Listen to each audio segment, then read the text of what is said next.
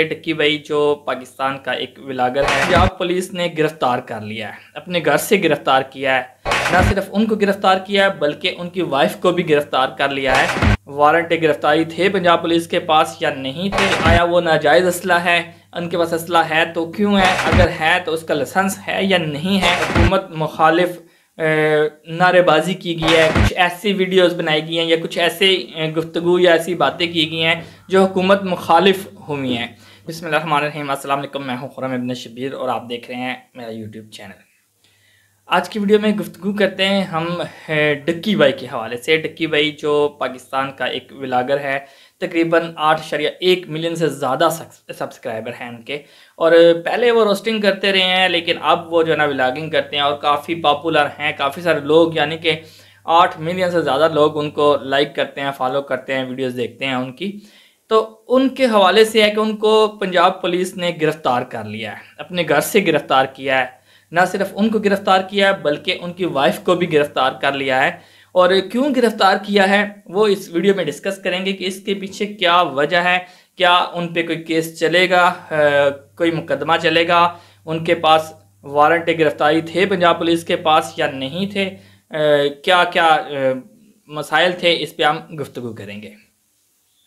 Basically हुआ ये कि फजर की नमाज़ के बाद पंजाब पुलिस ने जो है उनके घर पे छापा मारा और दोनों को डक्की को और डक्की बाई की जो वाइफ हैं, उनको गिरफ़्तार किया और ले गए थाने में। वहाँ जाके, या बल्कि बल्कि गिरफ़्तारी के वक्त ही उनको बताया गया कि उनको क्यों गिरफ़्तार किया गया है। गिरफ़्तार करने की जो वजह बयान की गई है, जो मंजर आम पर आई है वजह, वो ये वजह बयान की गई है कि डक्की भाई की जो वाइफ है, उन्होंने अपने इंस्टाग्राम स्टोरी पे एक तस्वीर अपलोड की है और उस तस्वीर पे एक वेपन शो हुआ है, एक गन शो हुई है। तो जो वो तस्वीर पे वेपन नज़र आया है, उसको रिकवर करने के लिए इनको गिरफ़्तार किया गया है कि आया वो नाजायज़ असला है, उनके पास असला है तो क्यों है, अगर है तो उसका लाइसेंस है या नहीं है, इस हवाले से उनको गिरफ़्तार किया गया है। और इस पर बड़ी अजीब किस्म की स्टोरी भी है और इसके अलावा जो बिहाइंड द सीन बातें हैं, वो चल रही हैं, वो ये चल रही हैं कि डक्की बाई की तरफ़ से, उनकी वाइफ की तरफ़ से कुछ हुकूमत मुखालिफ नारेबाजी की गई है, कुछ ऐसी वीडियोस बनाई गई हैं या कुछ ऐसे गुफ्तु या ऐसी बातें की गई हैं जो हुकूमत मुखालिफ हुई हैं। तो वो उसके बरक्स उनको डराया जा रहा है, उनको धमकाया जा रहा है और जो सेक्शन 120 बी है जो गरदारी का मुकदमा तस्वर किया जाता है, जो गरदार लोगों पर लगाया जाता है तो उसके तहत भी उनको डराया, धमकाया जा रहा है कि बच जाओ, ऐसा नहीं करो, या जो भी है। अच्छा अब सूरत आज ये है कि अगर वो वेपन को रिकवर करने के लिए जाते हैं तो जब रिकवर करने के लिए जाएँगे तो तब भी इनके लिए मसला है कि वो वेपन कहाँ से आया, क्या, अगर वो नाजायज़ वेपन निकल आता है, फिर तो और ज़्यादा काम ख़राब हो गया ना, फिर तो ये बड़े मसले वाली बात होगी। लेकिन अभी तक जो हमारी मालूम है, उसके मुताबिक ऐसा है कि किसी किस्म का कोई पर्चा उन पर दर्ज नहीं हुआ, कोई केस नहीं किया गया, कोई अभी कार्रवाई वगैरह नहीं हुई। अभी सिर्फ़ और सिर्फ़ उनको गिरफ़्तार किया गया है, गिरफ़्तार करके फिर उनसे तफ्तीश की जा रही है और उनसे पूछगछ की जा रही है।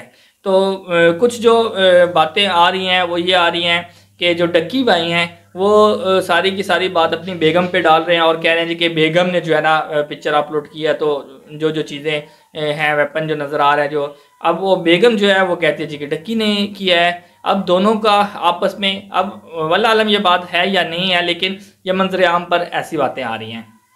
खैर अभी तक की जो सिचुएशन है, अभी तक का जो मंजर आम पर चीज़ें नज़र आ रही हैं, वो ये नज़र आ रही हैं कि जो डक्की भाई हैं, उन पर अभी तक पर्चा नहीं हुआ, गिरफ़्तार किया गया है। मुमकिन है कि उनको छोड़ भी दिया जाए, ये हो सकता है, क्योंकि डराने धमकाने के लिए भी ये काम किए जाते हैं। बहुत सारे यूट्यूबर्स को भी गिरफ़्तार किया गया, फिर बाद में छोड़ दिया गया। तो ये सिलसिला चलता है, हुकूमत की तरफ़ से है, या पंजाब पुलिस की तरफ़ से है, या फिर कोई और मसले मसाइल हैं, कोई और बातें हैं तो जो कुछ भी है वो अभी तक यहाँ तक ही है और जब भी नेक्स्ट कोई अपडेट आएगी, वो आपके सामने लेकर आएँगे। इजाज़त चाहूँगा। अल्लाह हाफिज़।